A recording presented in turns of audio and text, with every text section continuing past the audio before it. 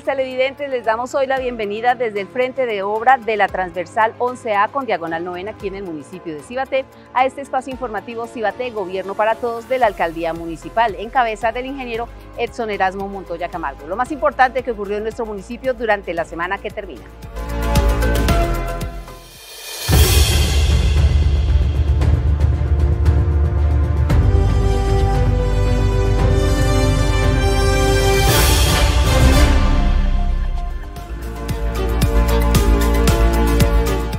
La Secretaría de Gobierno y la Comisaría de Familia están realizando operativos preventivos en las instituciones educativas del municipio con el fin de hacer frente al porte de estupefacientes, armas blancas y otros elementos que puedan afectar la tranquilidad de la comunidad educativa. Dios y patria, buen día. Soy el intendente jefe Yader Mayorga, jefe del Grupo de Protección a la Infancia y Adolescencia de la Policía Metropolitana de Soacha. En ese momento estamos haciendo actividades de prevención en los entornos educativos con el objetivo de evitar cualquier tipo de vulneración de nuestros niños, niñas y adolescentes del municipio de Cibaté. Traemos toda la oferta institucional, policía judicial, policía de infancia y adolescencia, policía de turismo, policía de carabineros y otras especialidades que nos ayudan a realizar estas actividades. También contamos con la participación de las comisarías de familia, Secretaría de Gobierno del municipio y diferentes entidades encargadas del restablecimiento de derechos de los niños, niñas y adolescentes. Esto es para la protección de ellos, la, la prevención y evitar cualquier tipo de vulneración de nuestros niños, niñas y adolescentes en el municipio de Cibaté. Se gestionaron ante las entidades competentes los registros pedagógicos eh, para garantizar obviamente la seguridad de nuestros niños, niñas y jóvenes, especialmente en la sede principal. Eh, afortunadamente contamos hoy con el apoyo de Infancia y Adolescencia, Comisaría de Familia, Secretaría de Gobierno y todas las entidades para garantizar los derechos de los menores de edad y evitar situaciones eh, que afecten la convivencia y la seguridad y la salud integral de nuestros estudiantes como obviamente el expendio de consumo de sustancias psicoactivas, de bebidas alcohólicas, de armas cortopunzantes, eh, cerca o dentro de nuestro entorno escolar. Entonces, pues siempre la idea desde nuestra institución es implementar acciones de prevención y promoción para que no se presenten estas situaciones con nuestros queridos estudiantes. Acompañamos la primera sesión de la Escuela Municipal de Familia realizada en las instalaciones de la Institución Educativa Departamental General Santander, sede primaria. Allí los profesionales de la Comisaría de Familia y el Grupo Interdisciplinario de la Secretaría para el Desarrollo Social trabajaron la temática de corresponsabilidad en la familia. Este primer encuentro con los padres de familia en la Institución Educativa General Santander lo hacemos en el marco eh, de Escuela de Familias, junto pues con Comisaría de Familia estamos buscando impactar pues a los padres de manera general, específicamente pues el día de hoy con un tema de corresponsabilidad en el ámbito familiar. Eh, nosotros somos partidarios y creemos que desde allí también podemos evitar y prevenir pues muchos tipos de violencia, maltratos, entonces quisimos aprovechar este espacio para tratar el tema de corresponsabilidad en el ámbito familiar en coordinación con Escuela de Familias. Bueno, pues el mensaje del día de hoy es que nos sigan invitando, la verdad considero que son unos espacios eh, muy productivos, hemos trabajado con instituciones tanto públicas como privadas, entonces el mensaje el día de hoy es que si tienen algún tema en especial que consideran que puede ser tratado eh, en una reunión de padres en el marco de Escuela de Familias, pues Comisaría de Familia está abierto y dispuesto para poder tratar los temas.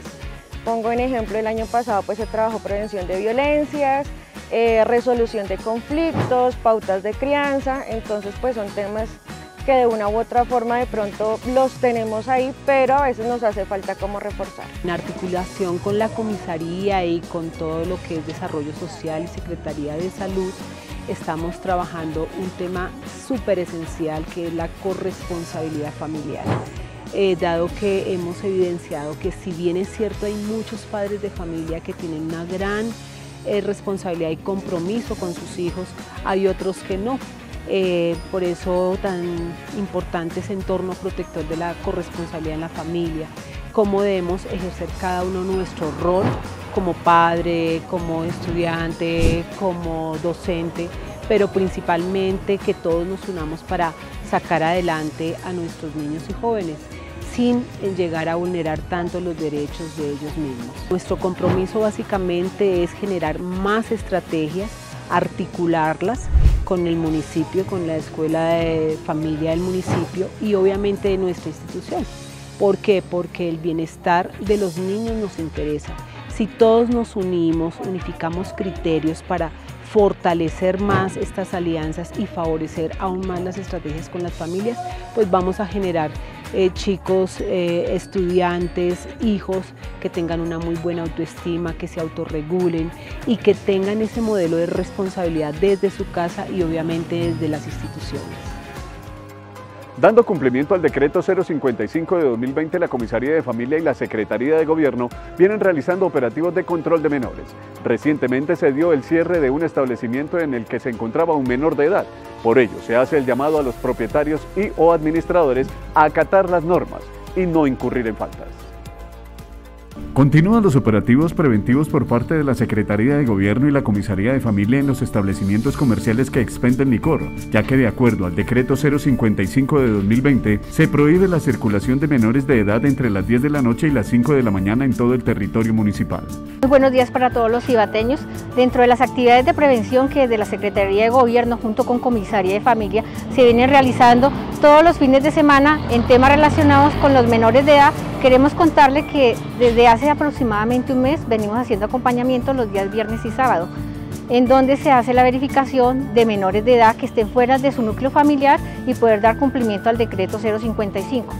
Lamentablemente nos hemos dado cuenta que muchos de los establecimientos a los cuales se les ha hecho recomendaciones y han firmado sus compromisos para el tema de menores de edad siguen apareciendo en los mismos, del cual se ha realizado cierres de establecimientos. Es una invitación especial para que por favor a partir de la fecha estemos atentos a dar cumplimiento al decreto 050, tema de menores de edad en establecimientos de comercio. Recientemente en uno de los operativos se dio el cierre de un establecimiento por la presencia de un menor de edad. El llamado de las autoridades va dirigido a los propietarios y o administradores para acatar las normas y evitar sanciones. Durante este recorrido eh, ya se realizó un sellamiento a un establecimiento donde venden bebidas alcohólicas. Eh, se encontró un menor de edad al interior de este negocio y se le hizo un comparendo y se selló el, eh, el local. Les recomendamos, por favor, padres de familia, estar pendientes de sus hijos y a los dueños o administradores de los bares, específicamente que estén pendientes de los menores de edad. Si no están seguros si son menores de edad, por favor pidan la cédula para que nos evitemos estos inconvenientes. Teniendo en cuenta que el pasado 24 de marzo se conmemoró el Día Mundial de la Tuberculosis, quisimos conocer detalles y estadísticas de esta enfermedad infecciosa potencialmente grave, que ataca los pulmones y otros órganos. Nuestro compañero Nicolás Roldán dialogó con el jefe municipal de vigilancia epidemiológica acerca de este tema. Amables televidentes, hoy estamos aquí en el Centro de Salud del municipio para hablar sobre el Día Mundial de la Tuberculosis tenemos a nuestro jefe de vigilancia epidemiológica de la Secretaría de Salud, Nayib Sánchez, para hablar sobre este tema importante. Jefe Nayib, bienvenido. Muy buenas tardes, Nicolás. Muchísimas gracias por la invitación. con gusto. ¿Nos podría decir qué es la tuberculosis y por qué es importante tener un Día Mundial dedicado a ella? Claro que sí, Nicolás. Eh, la tuberculosis es una enfermedad bacteriana que se transmite por un bacilo que, que se denomina eh, bacilo de Koch eh, debido a la persona que algún día lo descubrió. Es una enfermedad netamente bacteriana, como lo dije al principio, que ataca inicialmente lo que es el pulmón y todo el tracto alveolar. ¿sí? Eso no quiere decir que no se pueda transmitir a otros órganos del cuerpo, como hemos tenido aquí en el municipio de Cibaté, ya varios casos en diferentes partes del cuerpo. ¿Sí? Eh, la tuberculosis es una enfermedad contagiosa, pero lo bueno de esto es que es una enfermedad curable. Toda persona que esté activa, ¿cierto? Con la bacteria y que no tenga su medicamento, ¿sí? es una persona que fácilmente puede transmitir a todo su entorno. De eso queríamos hablar y es, pues me gustaría preguntarle cómo se transmite la tuberculosis. La tuberculosis eh, prácticamente se transmite a aquellas personas que teniéndola latente, ¿cierto? Expectoren, tosan, ¿sí? Y su entorno, se difumina todo lo que nosotros denominamos gotitas ¿sí? o micelas, que cuando alguna persona eh, ingrese al sitio donde la persona estornudó o estuvo por lo menos antes de seis horas, es una persona que fácilmente a través de la respiración se pudiera contagiar, ¿sí? Eh, a través de las mucosas. ¿sí? Entonces, lo que uno aconseja a estas personas cuando tienen unos síntomas característicos como son tos permanente por más de 15 días, eh, o inclusive tos sin expectoración, o a veces ni siquiera hay tos, que es lo que eh, ahora se está denominando como tuberculosis latente. ¿Qué quiere decir la tuberculosis latente? Es aquella enfermedad que ya la tiene la persona pasivamente, que su sistema inmunológico la ha asimilado y no tengo signos y síntomas, pero que la puedo identificar a través de una prueba que se denomina tuberculina. Hoy aprovecho la, la invitación, Nicolás, para decirles a todas las CAPBs, a todas las EPS y IPS, que cada vez que tengamos un posible sintomático respiratorio, le tomemos lo que nosotros denominamos la batería de exámenes, como son un cultivo, ¿cierto? Eh, una radiografía o una prueba, una PCR.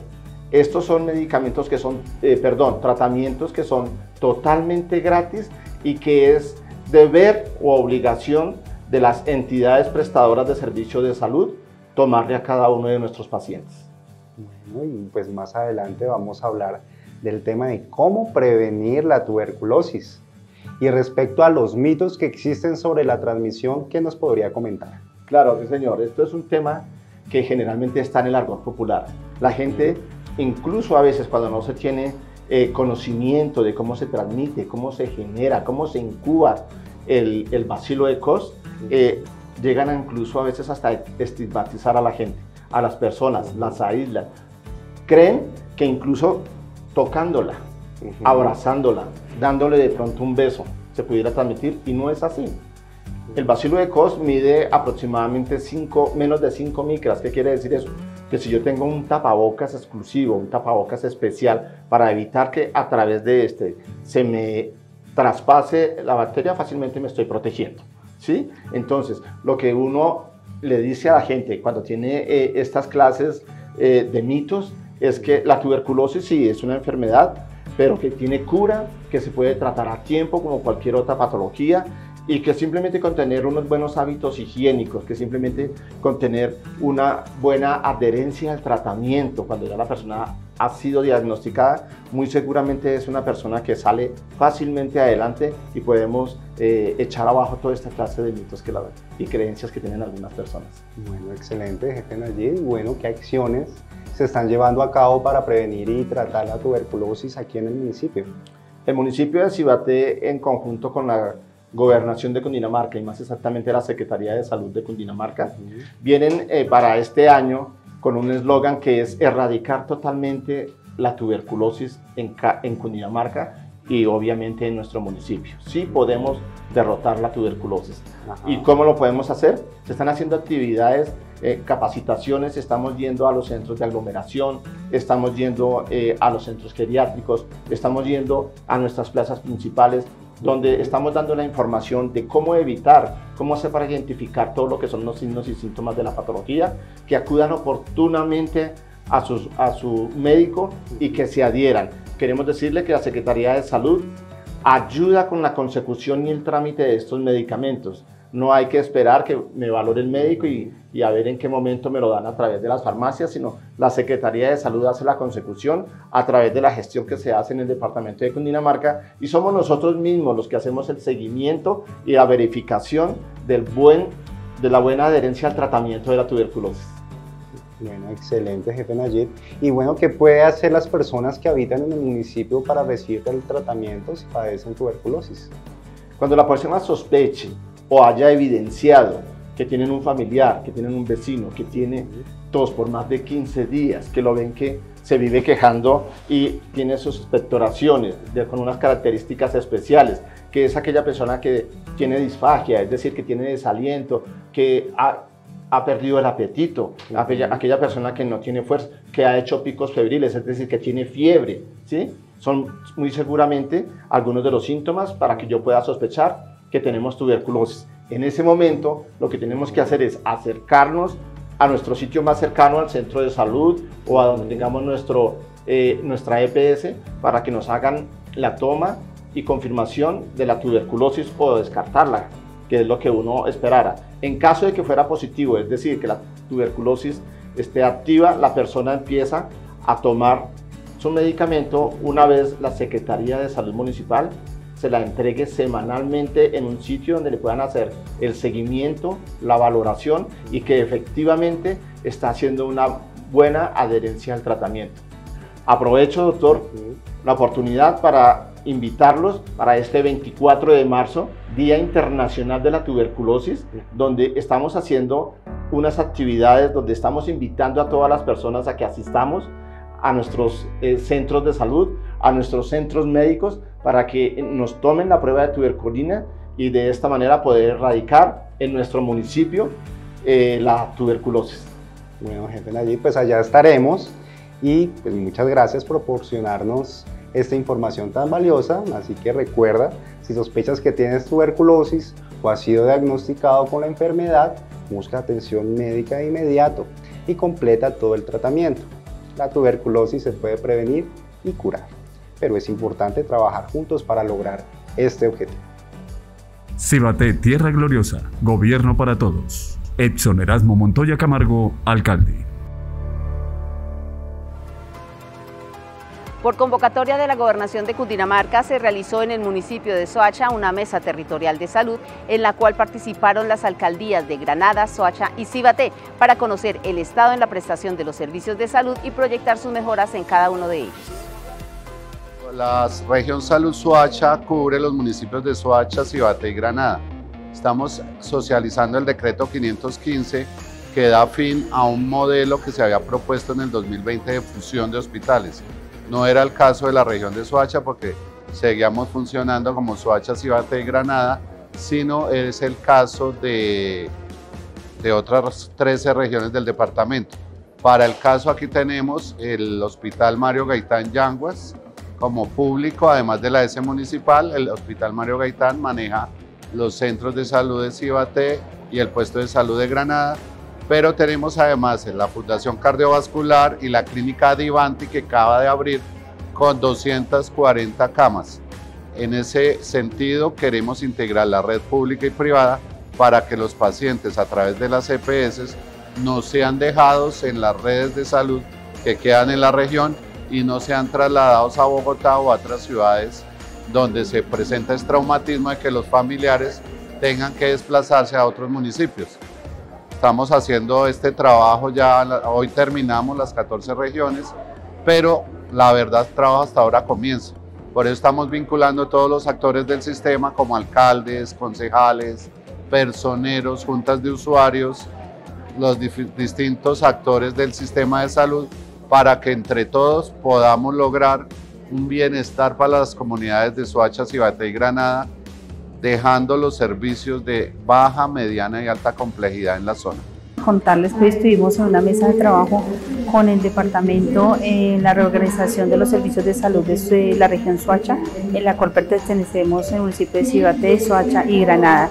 En esta reorganización eh, nos indican que el municipio de Cibate va a poder participar en las mesas de trabajo también que se hace con las EPS y IPS que tienen injerencia en el municipio y también el señor gobernador, el señor gobernador nos envía su mensaje que el compromiso es con esta región de crecer en servicios de salud y en tener una mejor cobertura. La comunidad de Cibate podemos encontrar que ya con estas mesas territoriales, esta primera mesa en la que vamos a asistir, eh, los servicios que tenemos en proceso de autorización las autorizaciones que estamos en proceso van a ser viabilizadas de una manera más ágil y adicionalmente también nos indican que podemos garantizar la, el fortalecimiento de la red que tenemos eh, tanto con el Hospital Mario Gaitán Yanguas como la articulación que se hace con la Clínica San Luis. Vamos a comenzar a trabajar con las asociaciones de usuarios en el, el método de la reorganización de los servicios de salud y cómo quedó ahora la región Suacha, así como todas las regiones del departamento y también eh, socializarles eh, las actividades que vamos a trabajar eh, de ahora en adelante con todo el proceso de, de atención en salud. El pasado 22 de marzo, en horas de la noche, se presentó una emergencia en la autopista sur con calle Segunda en el vecino municipio. Trabajadores que realizaban obras en el sector rompieron el tubo matriz de 4 pulgadas que transporta gas natural.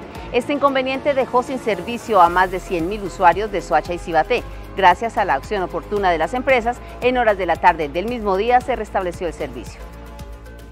Nos encontramos en la autopista sur, a la altura de la calle Segunda en el municipio de Soacha, donde la noche del pasado miércoles 22 de marzo, sobre las 11 de la noche, se registró un daño en la tubería matriz de 4 pulgadas. En ese momento, más de 100.000 usuarios de los municipios de Soacha y Cibaté se encuentran afectados.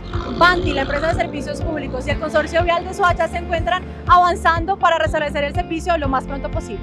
La empresa de servicios públicos Banti prestó atención inmediata al daño a la red de gas natural en el tubo matriz de 4 pulgadas, ocasionado por parte del consorcio que realiza trabajos en este sector. A causa de la emergencia presentada, más de 100.000 usuarios de Soacha y Cibaté se vieron afectados. Gracias al trabajo realizado por la empresa de servicios públicos Banti y el consorcio vial de Soacha, se logró restablecer el servicio el mismo día durante las horas de la tarde en el municipio de Cibaté y en horas de la noche en el municipio de Soacha. Así llegamos al final de esta emisión en el informativo institucional Cibate Gobierno para Todos de la Alcaldía Municipal del Ingeniero Exonerasmo Montoya Camargo. A ustedes gracias por la sintonía y los invitamos para que nos sigan a través de las redes sociales como Alcaldía Municipal de Cibate. Si quiere ampliar la información, ingrese al link que dejamos en la descripción. Hasta pronto.